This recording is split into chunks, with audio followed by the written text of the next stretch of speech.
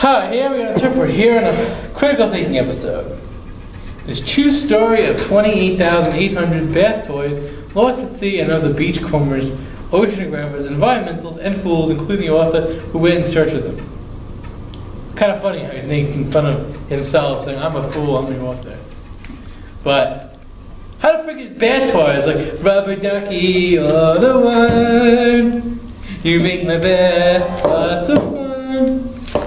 Like, really? But, uh, Donovan Hohn. Very interesting.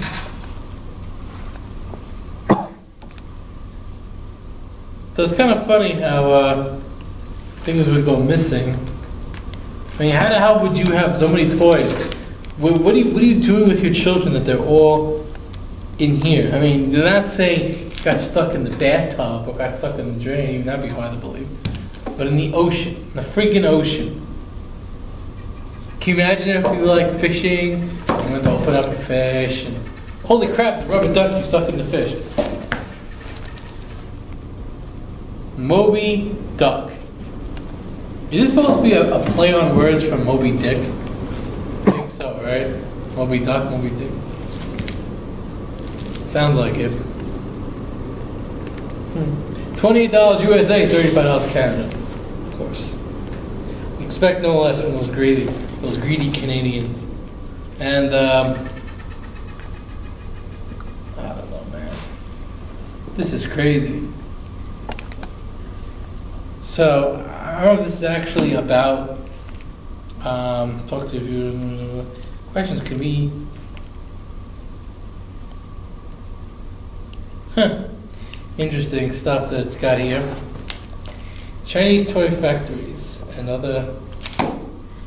But, I mean, why does it look like a giant freaking duck in the ocean, too? Like, if I'm gonna get saved by a giant duck, I could see the producers ripping me apart if I was like drowning.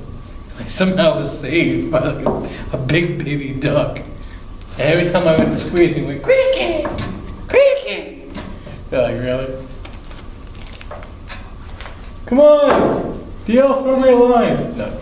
No! Don't, throw me a rope. No. I'm being pushed out the steam! I can see him waving too. I was like, holy crap. As long as he doesn't find me in a death-defying situation, he goes, Make me a deal!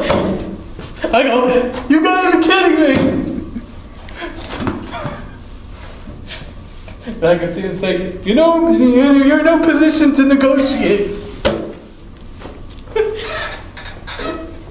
Damn it. I see him throwing like everything on the freaking fire, on the table, saying, everything that's worth precious to you is on the table. No! We don't want the beginning and the end of and the end of Lunchman, the end and the end of Sapphire. This is long as there's no more Hurricane Sandy and they say, uh, come on, let's do how to uh, tidal wave. No. So